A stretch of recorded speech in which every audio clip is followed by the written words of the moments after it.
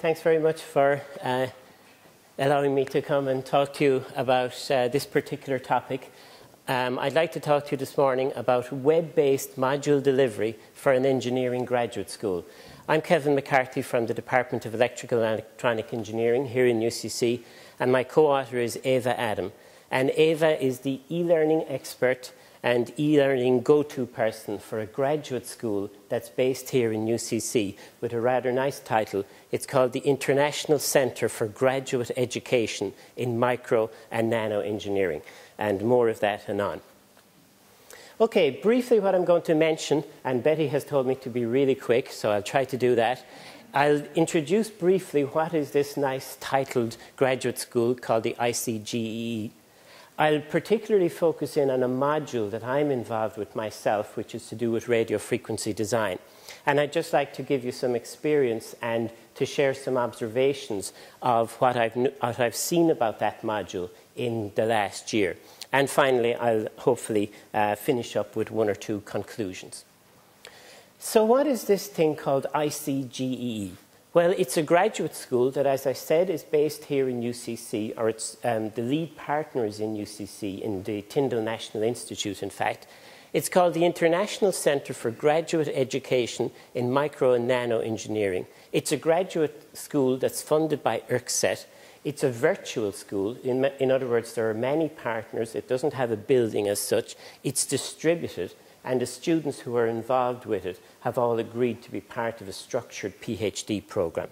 There are many members around Ireland. We have some international partners as well, but I've just um, listed the Irish members here. You can see virtually everybody, in a way, is involved.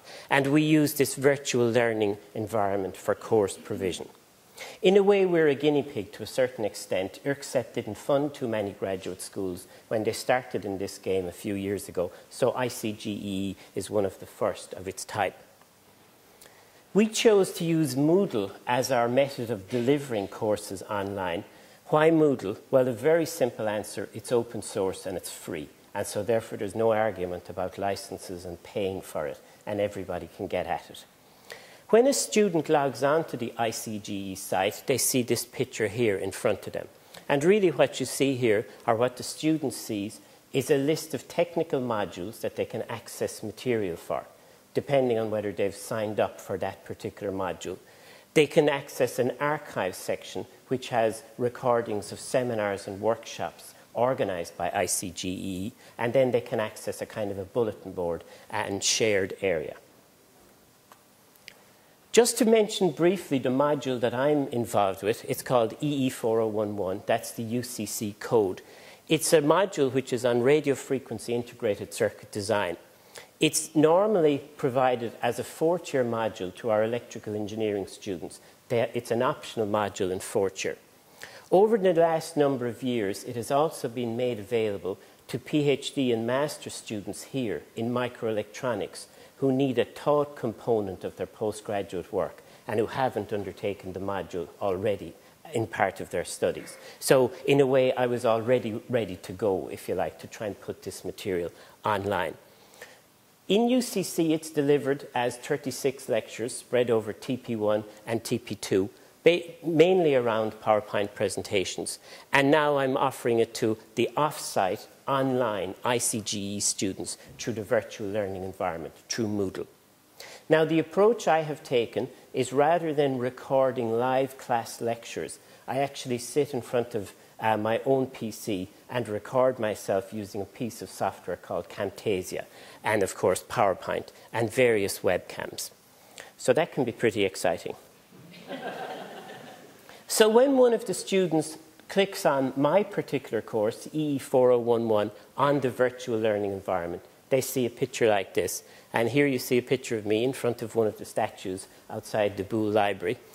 So they see that on the left. On the right, they see then the list of options that are available to them in this module. And just looking a little more deeply at that list of options that's available to them, this is just scrolling down that web, web page a little bit.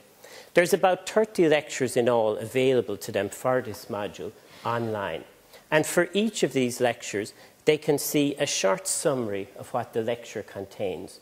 they can actually watch a video of me talking my way through that lecture, and they can download a PDF of the, of the presentation I talked through. Now, hopefully this will work. I don't mean to scare you or to bore you to death. I will probably end up doing both. But I'm going to attempt to play a one minute ex excerpt from a typical web recorded lecture, just so that you see what the students would see when they decide to click on the video.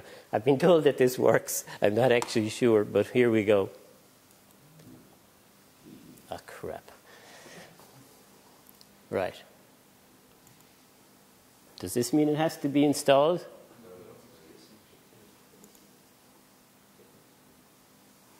Okay, try again. Betty, I'm taking this out in my 10 minutes.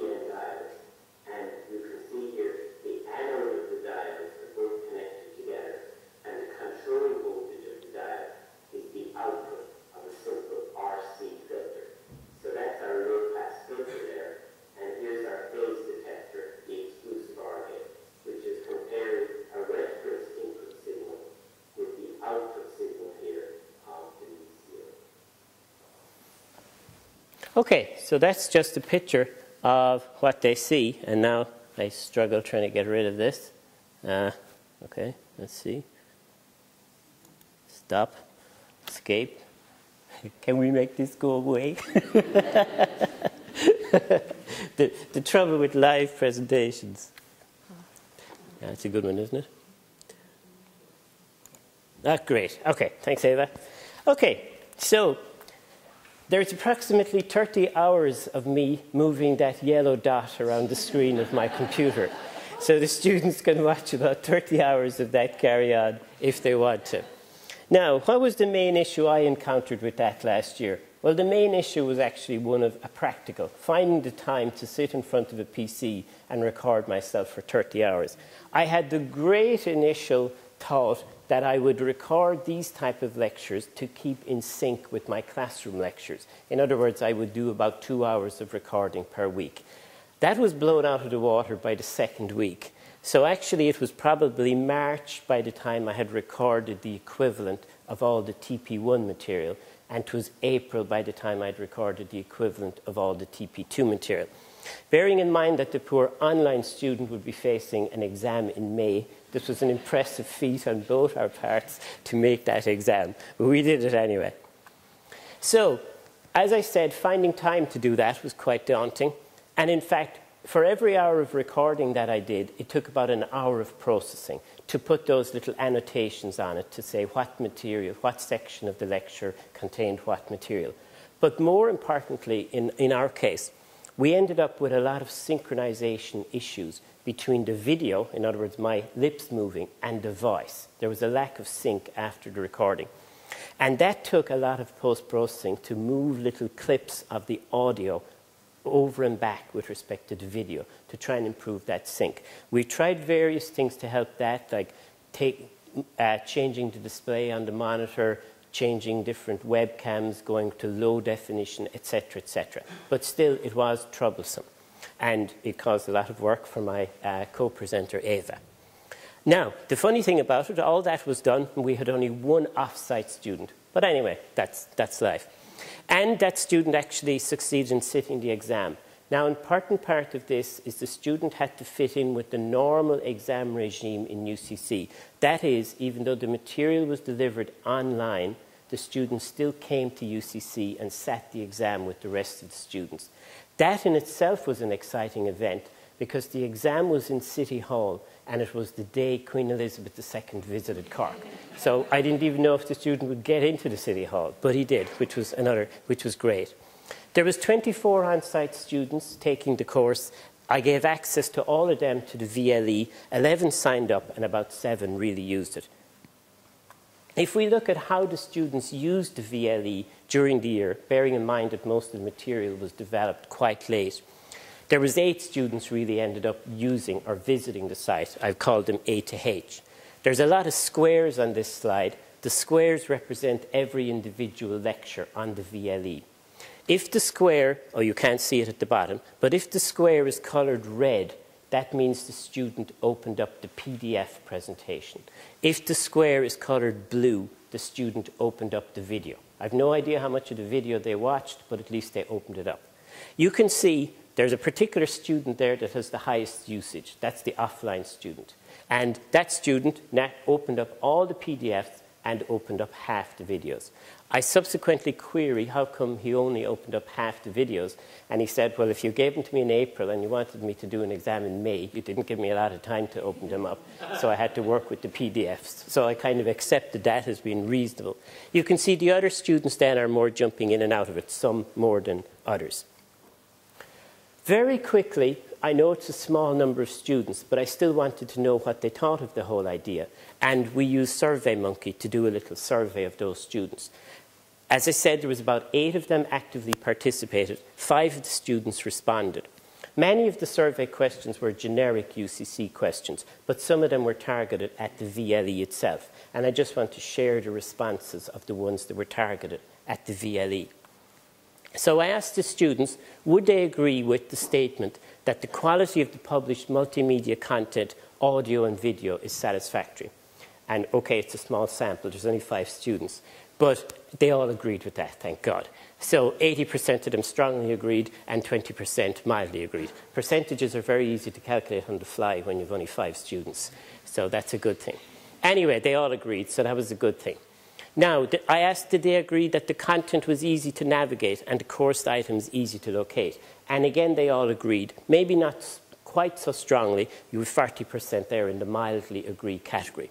Now, those questions seem kind of dumb and they seem kind of obvious. But on the other hand, if you're going to go to the trouble of putting material on a website, the material sh should be reasonably clear and it should be accessible in terms of being able to navigate around it. So again, the answers to those questions have at least indicated to me that the basic functionality of the material is okay. I then asked them, do you think that any modification is required to improve the delivery by distance learning? And in that case, um, one student, or 20%, said yes, the modification is necessary. And if we look at the answers then to the more open um, type questions, we see what that modification is. One of the students, despite 30 hours of that yellow dot moving around the screen, actually suggested I put more lectures online. So that's kind of interesting. And that student also asked for some work through exam papers um, on the site. Some more general comments then um, that's applicable both to online and in-class students. They all tended to ask for more design examples, and some more tutorials. Just, I'll give you a very brief look. You can look there at the feedback from one student. No, no um, prizes for guessing that this is the online student.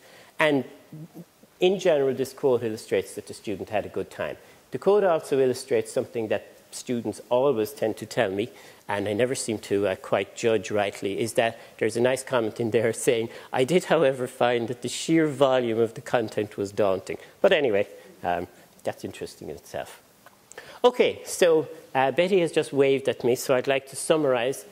Um, I hope I've given you although a very brief introduction, I've given you a small introduction to the ICGE, and I'll say it once again, it's the International Centre for Graduate Education in Micro and Nano Engineering.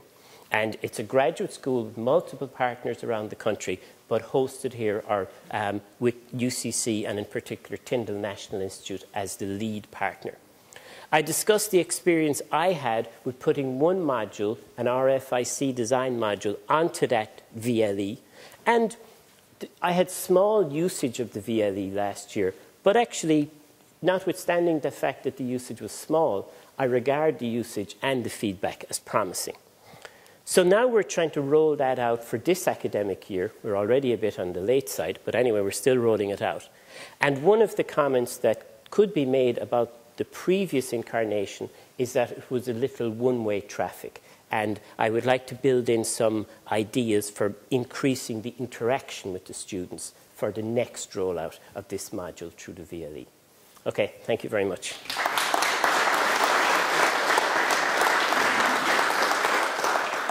Thank you. Kevin. And I'm sure those uh, lectures are just as entertaining as this one.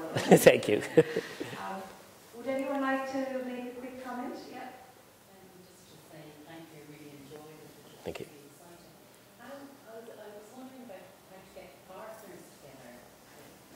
In terms of this, is it?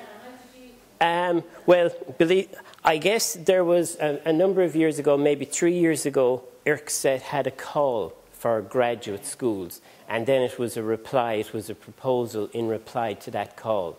Um, I guess the latest, the most recent round of graduate schools that would be cropping up around UCC, at least collaborative ones, would be in response to the PRTLI call. So there was a PL, PRTLI call all last year, and I know there have been a, a few more graduate schools are now kicking in um, as a result of that call. And in fact, um, I'm also involved in one called the Telecommunications Graduate Initiative, TGI.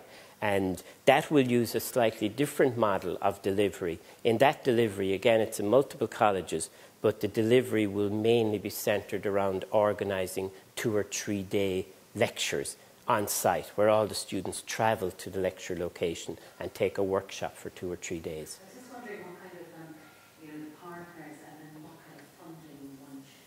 Yeah, well, this now, um, I'm, I wasn't responsible for putting the proposal together. I was a, a kind of a collaborator as opposed to the main.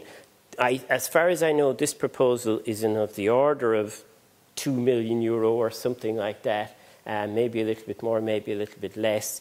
Um, most people, given a chance, um, because it was relatively new at the time, the concept of a collaborative graduate school, it was relatively easy to get partners around Ireland who would say, yes, we can contribute.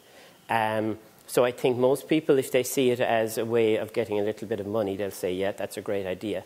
And also because it was new at the time, I think people were willing to have a go at doing something because they wanted to be seen to be involved in a graduate school.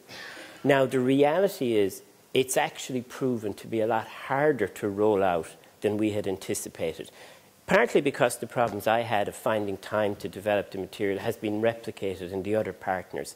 And partly because people change as well. You know, you have one person signing up on behalf of a department, and then they may hit retirement age, and you're trying to find the next victim in that department who will take over the, the mantle and deliver the courses.